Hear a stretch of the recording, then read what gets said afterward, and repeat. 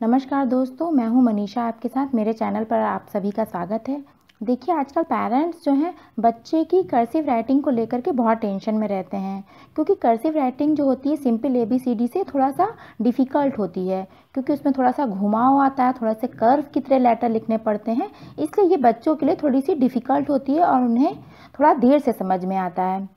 तो आज के इस वीडियो में मैं आपको स्टेप बाय स्टेप बताऊँगी कि आपको बच्चे को कैसे कर्सिव राइटिंग सिखाना है। तो सबसे पहले मैं आपको small A B C D cursive में लिखना बताऊँगी, क्योंकि small A B C D जो होती है capital A B C D के कंपैरिजन में थोड़ी डिफ़िकल्ट होती है। अगर बच्चे को small A B C D cursive में लिखना आ जाएगा तो उसको capital A B C D भी लिखना आसानी से समझ में आ जाएगा कि उसे कैसे capital A B C D cursive में लिखना है। तो आइए वीडियो को स्टार्ट करते हैं। Small A B C D start करने से पहले आपको बच्चे को कुछ कर्व बनाना सिखाना होगा। मैंने यहाँ पर कुछ पैटर्न्स बनाए हुए हैं। सबसे पहले बच्चे को आपको ये लिखना सिखाना होगा। और आपको एक बात का ध्यान देना होगा कि बच्चे को अपना हाथ कर्सिव राइटिंग में नहीं उठाना है, केवल फिंगर्स की मूवमेंट करानी है। कम से कम बच्चे को आप ये दो दिन तक प्रैक्टिस कराइए, जिससे कि बच्चे की फिंगर्स की मूवमेंट अच्छे से होने लगे। तो ये हो गया फ़र्स्ट पैटर्न अब सेकंड पैटर्न है। आपको बच्चे को ऐसे सिखाना होगा कि बच्चा जो है हाथ को ना उठाए, केवल फिंगर्स को अपने मूव कराए और मिला मिला करके लिखे। क्योंकि कर्सिव राइटिंग में लेटर जो होते हैं, एक दूसरे से जुड़े होते हैं, एक दूसरे से मिले हुए होते हैं। इसे अलग अलग नहीं लिखा जाता है।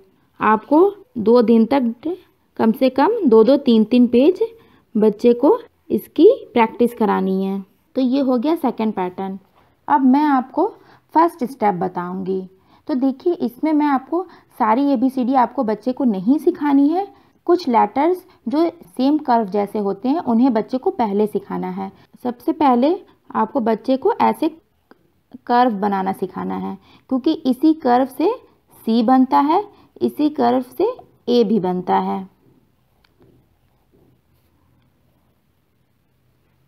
अब जैसे मैंने ऊपर कर्व बताना अभी सिखाया था सेम वैसे ही कर्व बना के बच्चे को डी भी बनाना है।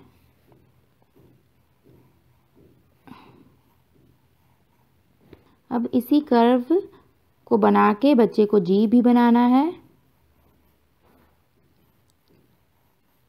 इसी कर्व से क्यू भी बन जाएगा।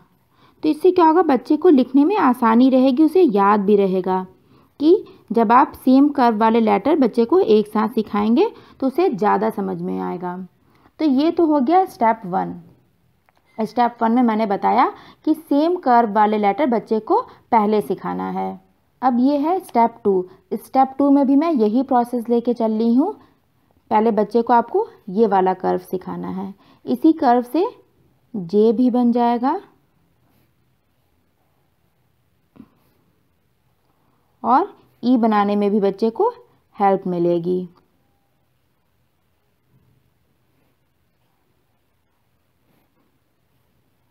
अब इसी कर्व से ओ भी बन जाएगा। तो ये हो गया स्टेप टू स्टेप टू में आपको बच्चे को पहले ये कर्व बनाना सिखाना होगा। इसी कर्व इसी कर्व से जे भी बनेगा, यही कर्व ई बनाने में भी हेल्प करेगा। आर बनाने में भी इसी कर्व से ओ भी आसानी से बन जाएगा और स्मॉल एस भी। तो ये हो गया स्टेप टू अब स्टेप थ्री में मैंने सेम कर्व वाले लेटर लिए हैं। देखिए एल में भी इस कर्व से बन रहा है और एल की तरह बी भी पहले स्टार्टिंग में इस तरह बनेगा। तो मैं आपको बना के दिखाती हूँ। देखिए, ये स्मॉल एल हो गया। अब स्मॉल एल की ही तरह देखिए बी भी बनेगा। और स्मॉल एफ़ की ही तरह और स्मॉल बी की तरह ही स्मॉल एफ़ भी बनेगा। तो आपको बच्चे को सेम कर्व वाले लेटर पहले सिखाने होंगे। इससे जो, इससे क्या होगा कि बच्चा जो है कंफ्यूज नहीं होगा।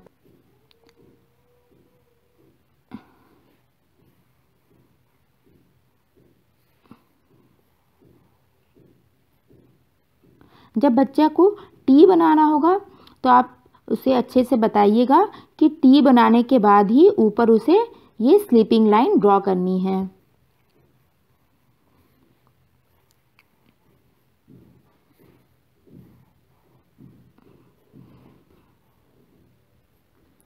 देखिए, बच्चों के सिखाने का एक सबसे बेस्ट तरीका ये भी है कि पहले आप खुद अच्छे से कर्सिव राइटिंग लिखना सीख लीजिए अगर आपको अच्छे से नहीं आता है, क्योंकि पहले टाइम में कर्सिव राइटिंग कई स्कूलों में नहीं चलती थी और इतनी जल्दी छोटे क्लास में सिखाई भी नहीं जाती थी।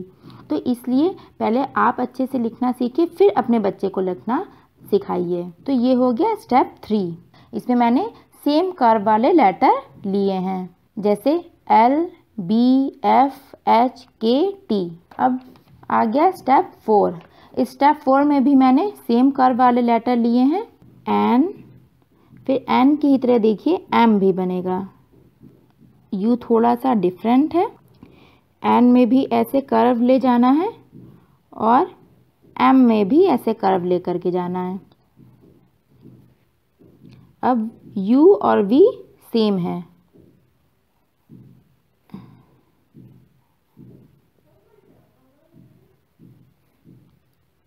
यू वी डब्ल्यू एक जैसे लेटर हैं। इसलिए मैंने इन लेटर्स को एक साथ रखा। इस स्टेप से अगर आप बच्चे को सिखाएँगी तो आप देखेंगे कि बच्चा जो है, बहुत जल्दी कर्सिव में स्मॉल लेटर्स लिखना सीख जाएगा। देखिए, कुछ बच्चों की कैपेसिटी जो है अलग अलग होती। कुछ बच्चों को देर से समझ में आता है, कुछ बच्चों को जल्दी समझ में आ जाता है।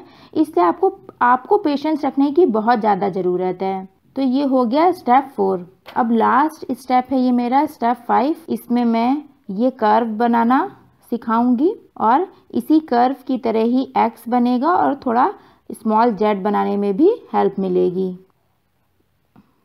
तो पहले आप बच्चे को ऐसे कर्व बनाना सिखाइए। ये थोड़ा थोड़ा स्मॉल एस की तरह लग रहा है।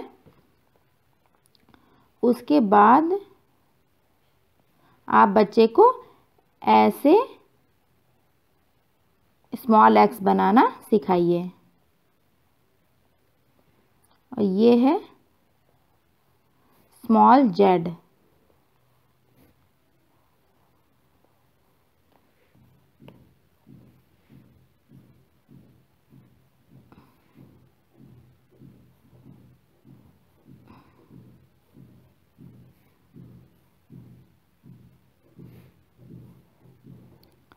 तो ये हो गया मेरा लास्ट स्टेप स्टेप फाइव अब आपको बच्चे को पूरी ए बी सी डी एक साथ लिखनी सिखानी होगी।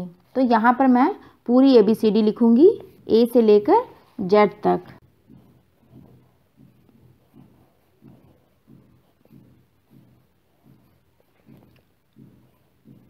A B C D E F G H I J K L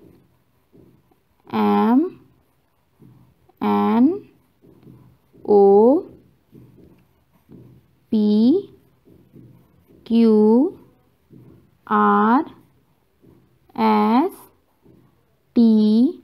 आप टी में बच्चे को ज़रूर बताइएगा कि टी पूरा बना के फिर बच्चे को ये स्लीपिंग लाइन खींचनी है या ड्रॉ करनी है। U V W X Y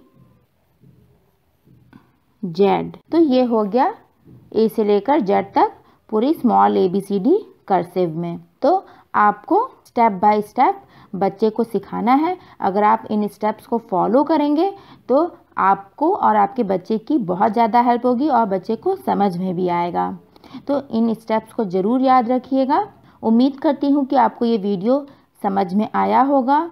अगर वीडियो अच्छा लगा है तो इसे लाइक करिए सब्सक्राइब करना बिल्कुल भी ना भूलिए और सब्सक्राइब करने के बाद बेल आइकन को ज़रूर प्रेस करिएगा, जिससे कि आप मेरी सारी वीडियो का नोटिफिकेशन आपको मिलता रहे और आप मेरी सारी वीडियो से अपडेट रहें। अगर आपका कोई सजेशन है तो मुझे कमेंट बॉक्स में ज़रूर लिखिएगा और इसे शेयर भी करिए, जिससे कि दूसरे पेरेंट्स की भी हेल्प हो और वो भी अपने बच्चों को अच्छे से सिखा पाएँ। Thank you thanks for watching